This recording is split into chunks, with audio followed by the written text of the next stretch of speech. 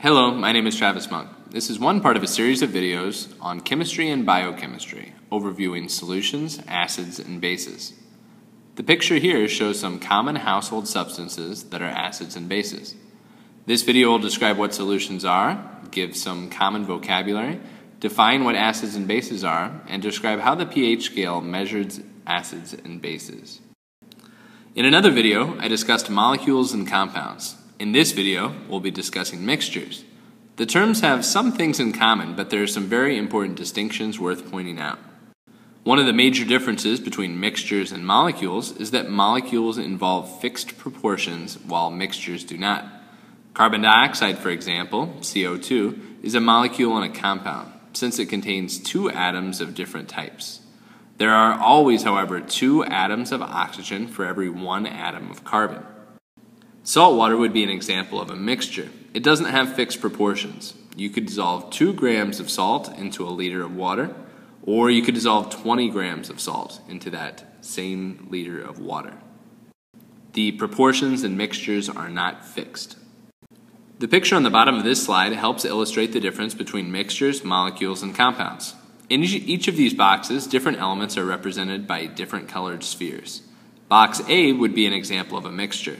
There are two different types of molecules, represented by two or more atoms stuck together, in the box.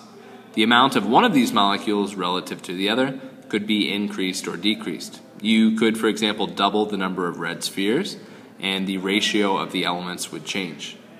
Boxes B and C contain molecules of the same type, and there are fixed proportions of the atoms. They are pure substances. In B, there are always two red spheres connected together. In C, there is always one red sphere connected to one blue sphere, and this can't be changed. Box C contains a compound because there are two different types of atoms in fixed proportions. There are three different types of mixtures that we'll talk about now suspensions, colloids, and solutions. Suspensions are made up of large particles, and a key characteristic is that they settle out over time. If you were to place sand in water and stir it up, it would initially look pretty uniformly mixed. But given a few seconds or minutes, depending on the sand, all of the sand would settle to the bottom of the cup. Colloids can be identified by what is called the Tyndall effect. If you were to shine a laser pointer through a colloid, the medium sized particles in that colloid would scatter light. Milk is an example of a substance that is a colloid. Solutions, the final type of mixture that we'll be discussing, is the topic of discussion for this video, and it, they're made up of smaller particles. Uh, solutions do not scatter light and they don't settle out over time. An example of a solution would be glucose, which is a type of sugar dissolved in water. The chart at the bottom of this slide outlines some of the most important distinguishing characteristics between these different types of mixtures solutions, suspensions, and colloids. There are two different components that make up a solution a solvent, or what something is dissolved in, and the solute, or the substance that is dissolved. For most of our purposes this year, there will be a solid dissolved inside a liquid. The previous slide suggested an example of this where sugar was dissolved in water. In this case, sugar would be the solute and the water would act as a solvent.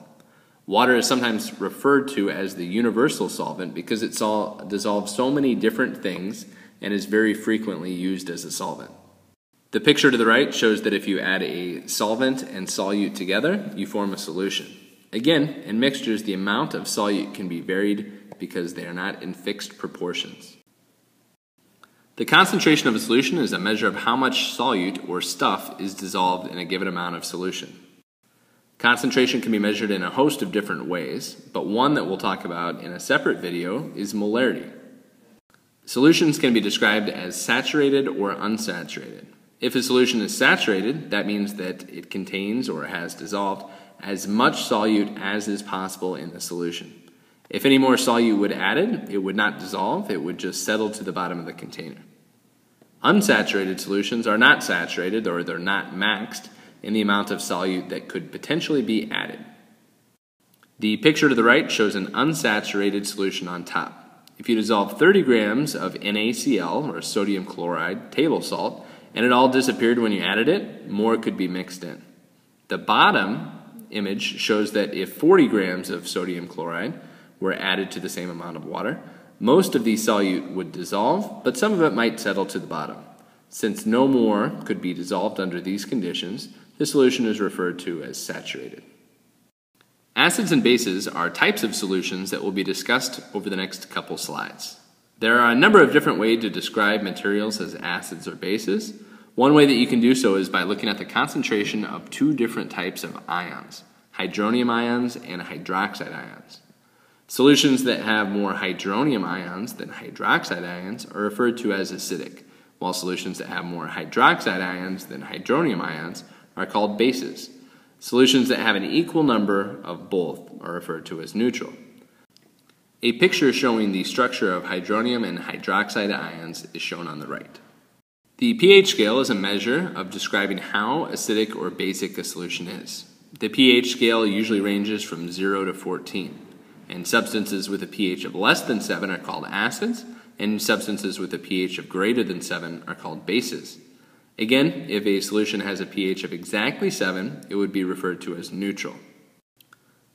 This slide describes pH as a logarithmic measurement of the concentration of hydronium and hydroxide ions. What this means is that the, if the pH value of a substance changes by 1, that the relative concentration of hydronium or hydroxide ions changes by a factor of 10. This scale is used because of the drastic differences in concentration of these ions across the pH scale. Other examples of logarithmic measurements would include the Richter scale for earthquakes and the decibel scale for sound. The pH scale to the right shows the relative quantities of hydronium and hydroxide ions, as well as some different substances that you might be familiar with and where they fall on the pH scale. There is a separate video that describes the mathematics of acids, bases, and the pH scale. That is the end of this video summarizing solutions, acids, and bases. If you're interested in learning about other chemistry or biochemistry concepts as they relate to biology, please subscribe to my channel. Thank you.